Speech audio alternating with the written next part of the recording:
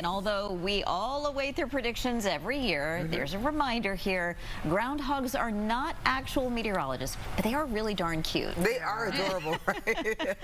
but the work of real weather scientists is being honored in a unique new exhibit at Cartersville Tellus Science Museum. And that's where Good Day Atlanta's Paul Milliken is live for us this morning. And Paul, you're peeking inside NOAA's Ark. But Noah's not not Ark. Noah. Yes, indeed. Okay. Different Noah.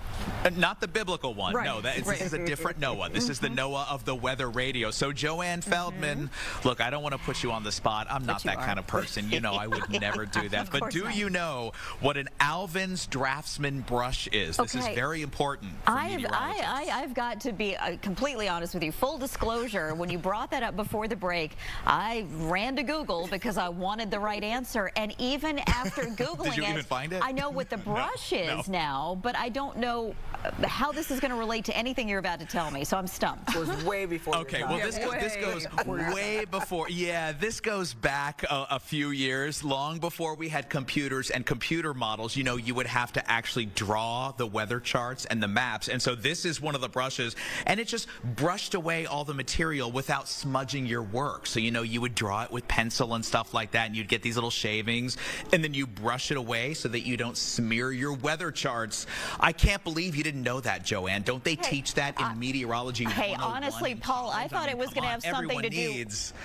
I thought it was going to have something to do with like the bristles changing shape related to the humidity or something no, like no, that. No, no, no. Oh, you were you were thinking very scientific. No, no, no, no, no. We got to we got to dial that back a little bit. Yeah. Well, that is one of the many interesting things you'll learn here in the Treasures of NOAA's Ark. Amy is standing by. This is really a neat exhibit because everyone has heard of NOAA, the National Oceanic and, and uh, Atmospheric Administration, but not everybody really knows what NOAA is or what they do. And the whole purpose of this exhibit is to let us know, right? Right? Yeah, it, it highlights some of the services and science that they do around the United States. Yeah, and of course, some of the most famous, of course, the National Weather Service, and of course, their work in tracking oceans and ocean currents. So let's talk about the weather stuff in this case. This is a very cool historical document. What is this showing us here? So this is a document of meteorolog meteorological observations in January, starting in 1864 up to 1899, I believe. And this is Atlanta. This is local data. This is local data that recorded the annual mean of temperature for the month of January. Wow. So as you see there, January 1864, the mean temperature was 42.8 degrees, and it kind of varies from there as you look down the years. I love that. Very cool. And then there's just neat little instruments like the clinometer over there. What did that do? So that was uh, a device that they used to project light onto clouds at, at nighttime so they could see the distance. Oh. And, um, um, uh, uh, yeah, like the, the cloud heights and stuff. That's yeah, very yeah. cool. I like that. And Joanne, you'll like this too. So there's a teletype right here from 1979. And the funny wow. thing is, of course, we don't get weather data via teletype, but doesn't it look like it? It still looks the same on the computer, right? Like the yes, format the hasn't print, changed the format. at all. You're right.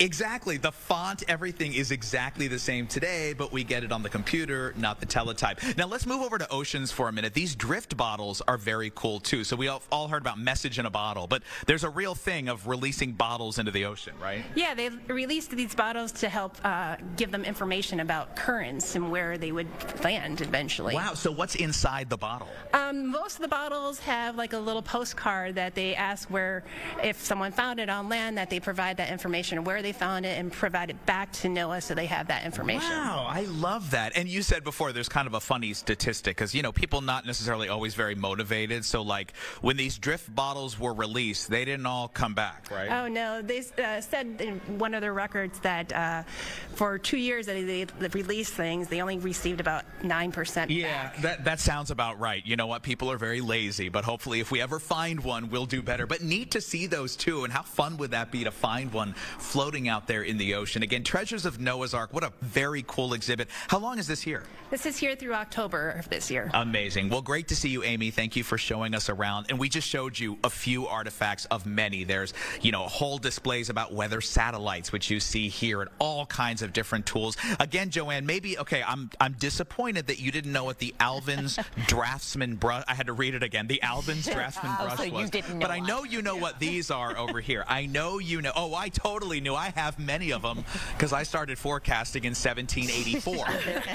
but look at these tools. Now, you know these tools, of course, the psychrometer, the Mm-hmm. anemometer, all of those things that we, we still cool. use. They may not look the same, but they're all things out there that are still in use today. It's really interesting. That is so cool. I've learned a lot here in just this last few minutes.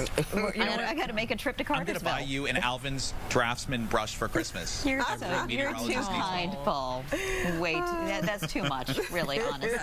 You, you shouldn't, Paul. Pull back, You it's really okay. shouldn't. Too much. No, that is very cool, much. though. Paul, thank you so much. And the Tellus Science Museum is located at 100 Tellus Drive in Cartersville. That is right off of I-75 at exit 293, and the museum is open daily from 10 to 5.